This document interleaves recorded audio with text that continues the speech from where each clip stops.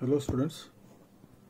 Now let us look at uh, one carburetor, very popular carburetor known as Solex carburetor, manufactured by the French company and was used by all top leading uh, automobile manufacturers like Mercedes-Benz, etc. This basically uh, is the carburetor. I will show you this carburetor again. Okay, this is the float. The petrol fuel from fuel tank. The petrol is coming here. This is the fuel uh, uh, float, and this is your accelerator pedal. Okay, this entire housing is called the carburetor, and from here there is the air filter, and from there air is coming.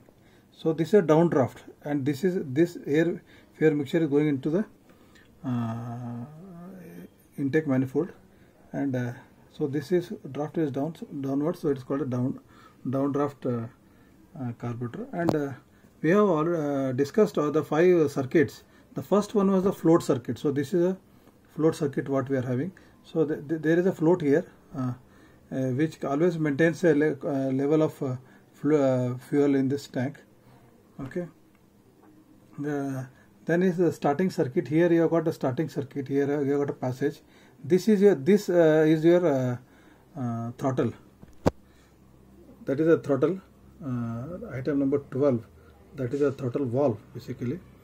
And then uh, uh, the second third one was idling circuit. So for idling you, you have got idling there is a circuit coming here below the throttle valve. So uh, though you don't operate the throttle the idling will be on. So this is the throttle idling circuit. And here there is a screw i think you might have seen uh, in earlier days in our bikes and sc- uh, scooters this uh, technicians used to fiddle with that uh, brass screw to increase or decrease the idling speed of the engine. So this is that screw basically where they increase or decrease the idling speed.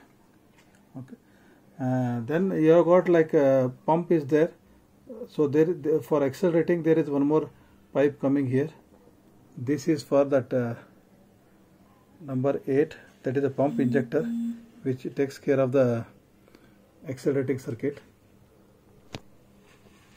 So in very simple terms the, the fuel tank uh, supplies fuel here always there will be fuel. And this fuel comes to this uh, nozzle. This is the nozzle. And uh, when the air comes from this end this air takes away this fuel vaporizes this and comes here. And when you accelerate when you change the push the pedal or accelerate this uh, throttle valve opens this way. Uh, now it is now it is a closed condition. It can come vertical like this and it can be an open position. And it supplies the air fuel mixture to the cylinder. So this is your again I'll repeat this is your accelerator uh, pedal. This is a pump. This is a float. This is a float tank. This is for the accelerating circuit. This is the nozzle uh, connected to this and air comes takes the petrol and makes air fuel mixture and it gets enters into the engine. This circuit is for the starting circuit. It also bypasses the, the uh, accelerator. So you not uh, uh, press the accelerator or uh, you need not uh, hold on to the accelerator to start the engine.